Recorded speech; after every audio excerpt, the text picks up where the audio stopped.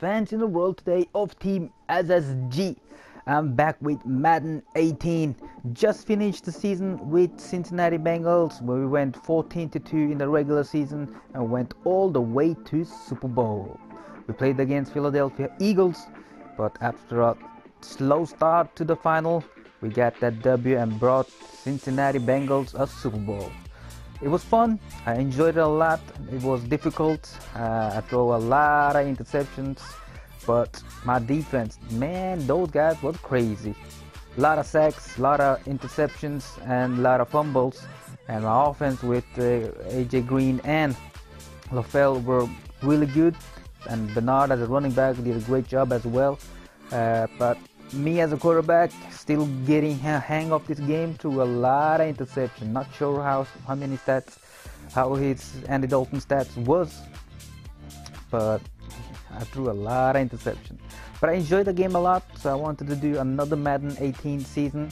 Uh, as you can see, it's a team in NFC West. It's not San Francisco 49ers. It is not Los Angeles Rams, but it is Arizona Cardinals.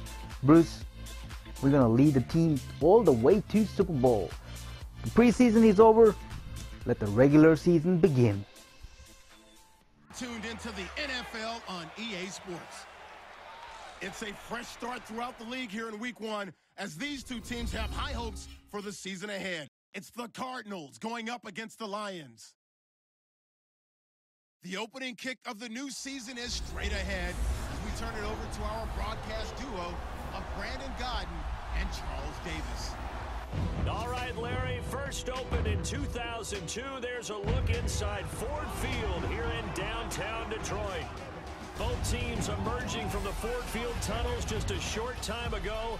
And, of course, the loudest cheers were reserved for the hometown Lions. They're set to go as they will match up with the Arizona Cardinals. And welcome in, everyone. Brandon Gaudin with Charles Davis. These two teams, Arizona and Detroit, you know, if you were asked prior to last season which of the two would make the playoffs, probably would have said Arizona, but it was the Lions at 9 and 7 who made it, and the Cards at 7, 8 and 1. Here are the Lions now coming out for their opening drive.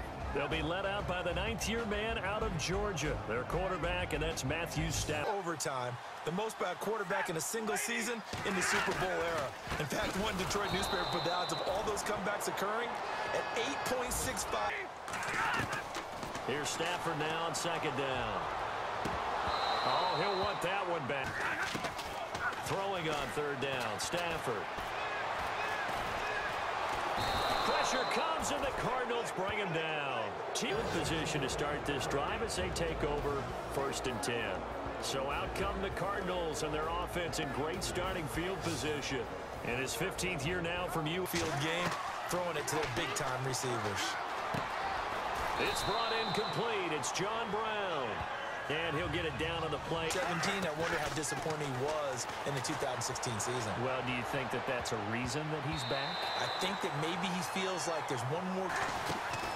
Third and two, now Palmer. And he finds Barnidge. He's got it. And he gets the... That year, 2014, yep. got let go by Cleveland. Recently, social media welcoming David Njoku to Cleveland, and the Browns let him go the next day. Caught, left side, it's Barnidge. Dense partner, so if he's going to throw the football, that would be pinpoint here. And that is caught. Touchdown, Cardinals. Gary Barnidge, a seven-yard touchdown grab without a playoff victory. In the midst of that eight of nine win string, they had three straight home games that all came down to the final series. Two linebackers and a secondary player. I think the key guy out of that might be Teez Tabor, the cornerback they took out of Florida. They've got to slow down some of the... On first down, Stafford here. Completing it here to Marvin Jones. Riddick with a carry. And he'll lose yardage here. Back at the 40, spotted on the midfield logo. It's a 58-yard attempt. And I tell you what, he got it from 58. That had finishing with the number nine overall offense, the number two overall defense, but they did not make the playoffs. That just tells you that sometimes statistics don't tell the total tale. Reddick, a linebacker out of Temple, was their first-round draft pick. Budda Baker, a safety out of Washington, trying to to shore up the defensive side. Didn't protect little brother back there, right? Man, that's just so difficult for them because just think about every single play. When you just... A first down carry here for Johnson. 15 more there. From the gun, it's Palmer. Flush to his right. Defenders on that one. They thought that they had him. Instead, he... And he will get into the end zone. Touchdown, Arizona. David... Yeah, jumped too quickly.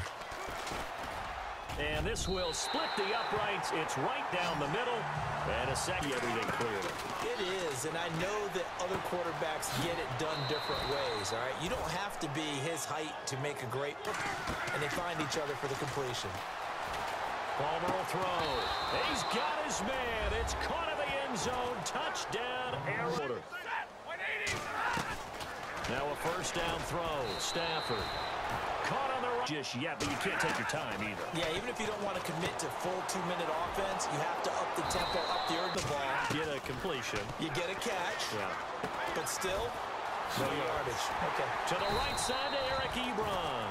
And brought down. One catches in 2016, battling an ankle. Yeah, the surprise, though, just one of those 61 hit pay dirt. Again, it's Stafford. Open is Tate. Touchdown, Lions. Golden Tate. They stay on the ground on first with Johnson. Oh, a nice spin. And he'll be taken down, but not before. And Palmer gives to Johnson. And he'll get it down on the play.